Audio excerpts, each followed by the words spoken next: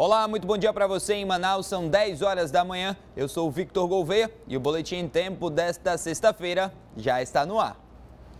Ontem à noite, um barco tombou e quase afundou no porto da Manaus Moderna, lá na zona sul da capital. Pelo menos seis pessoas estavam na embarcação na hora do incidente. Mesmo assim, ninguém ficou ferido. A embarcação antiga de madeira estava atracada na Manaus Moderna, no centro, zona sul de Manaus. Pelo menos seis pessoas estavam no interior quando o casco traseiro cedeu. O barco ameaçava tombar desde o final da tarde, mas virou parcialmente logo no início da noite. A embarcação não era usada para o transporte de passageiros, era somente alugada para feirantes dormirem durante a noite. Testemunhas falaram que não é a primeira vez que o barco vira. Nós fomos acionados pelo, pelo 93, né, que é o centro de operação, para nós deslocarmos até aqui para ver se tinha alguma, alguma vítima, né, afogada, alguma coisa assim. Mesmo com a estrutura comprometida e inclinada, algumas pessoas preferiram passar a noite no local. Cerca de 20 pessoas moravam na embarcação. O Ministério Público Federal do Amazonas apura denúncias de maus tratos contra mulheres grávidas em maternidades públicas. Agressões verbais e físicas contra elas virou um fenômeno nacional. É a violência obstétrica.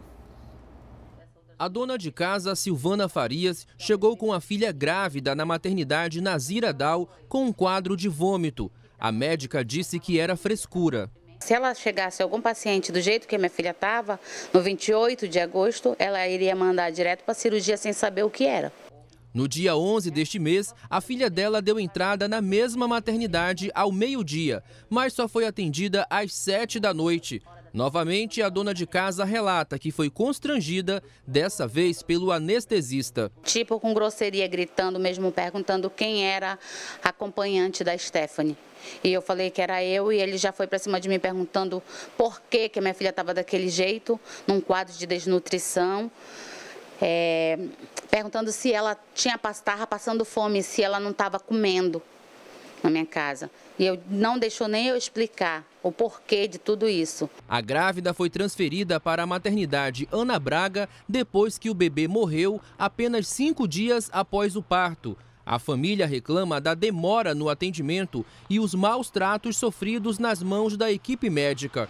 O Ministério Público Federal investiga o caso que é apenas um retrato da violência obstétrica contra mulheres grávidas. A mulher grávida, a parturiente, ela está numa situação de vulnerabilidade e muitas vezes sua fala é desacreditada, é desconstituída e ela é tratada praticamente por um objeto, como um objeto no sistema. O médico também pode ser um agente é, promotor de violência, mas é, mas existem vários outros agentes. A violência pode ser praticada, por exemplo, pelo porteiro, é, pelos atendentes, pelo médico, pelo anestesista. O mais importante é reconhecer que a gestante precisa ser protegida. Segundo o Ministério Público Federal, as denúncias envolvem maus tratos e agressões verbais por parte de médicos e também de enfermeiros. Por conta de casos como esse, o MPF abriu uma ação contra o Estado. As mulheres muitas vezes sequer conhecem que possuem determinados direitos, o que as torna mais que as torna mais frágeis perante o sistema. E é em razão disso que nós ajuizamos uma ação civil pública para fazer com que o Estado garanta que todos os profissionais que atuem dentro das suas unidades respeitem as cláusulas de humanização e tudo aquilo que é preconizado pelo CONITEC como formas de assistência à mulher no Sistema Único de Saúde. Mais de 50 casos estão sendo analisados pelos procuradores os profissionais de saúde podem ser criminalizados e a família pode ser indenizada.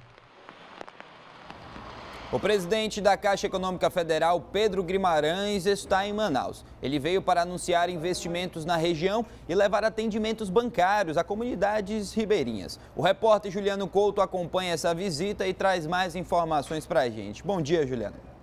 Olá, Vitor, bom dia para você. A gente está acompanhando a visita do presidente da Caixa Econômica Federal, Pedro Guimarães. Ele vai visitar algumas comunidades da região amazônica para levar atendimento bancário a essas comunidades. Quatro barcos itinerantes devem ser entregues em uma parceria com a Marinha. Hoje cedo ele conversou com a nossa equipe de reportagem. Vamos conferir um trechinho da entrevista. O que a gente vai fazer é ampliar de dois para seis porque esses quatro barcos da Marinha, eles hoje não oferecem é, produtos bancários. E mais do que isso, que eu conversei com o Ministério da Defesa, é ampliar também para lanchas. E aí lanchas a gente está discutindo 10, 20 lanchas, por quê? Porque essas lanchas elas podem atingir os igarapés é, de uma maneira mais rápida e mais ágil, mas o objetivo é ampliar fortemente essa parceria. Além da visita a essas comunidades, ele também deve anunciar melhorias aqui para a nossa região, inclusive alguns projetos sociais. A visita termina hoje. Eu volto com você aí no estúdio. Obrigado pelas informações, Juliano. O governo federal reconheceu a situação de emergência de Manaus por causa do incêndio no bairro Educandos e viabilizou ajuda para as vítimas. O recurso vai ajudar na compra de kits alimentação e utensílios mínimos, além também de custear parte do auxílio aluguel dado às famílias atingidas. O incêndio no Educandos aconteceu no dia 17 de dezembro do ano passado e destruiu cerca de 400 moradias, deixando mais de 700 famílias desabrigadas. A seguir, onça pintada resgatada em Itacoatiara é trazida para a sede do Ibama aqui em Manaus. E já recebeu até um nome. O nome dela é Akira. É daqui a pouquinho.